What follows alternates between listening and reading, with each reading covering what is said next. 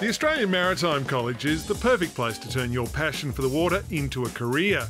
Queensland native Zoe Williams has been at sea since she was 18, but has recently decided to get her 24 metre skipper's ticket to go to the next level. I've heard about all the simulators, all the hands-on stuff, the six different boats we get to drive down at Beauty Point.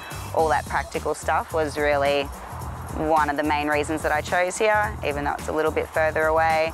As well as her master's ticket, Zoe is taking on the MED2 course for marine engine drivers.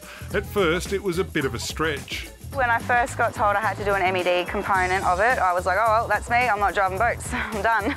but uh, no, everything I've learned so far, it's super fascinating. I'm actually grasping all the concepts that we've learnt so far. It's a course AMC is uniquely placed to deliver with an entire ship's engine room as one of the classrooms. I really want to know what's going on down there myself and be quite competent in that field as well, not just have someone telling me what's going wrong. I need to also be able to understand what's going on.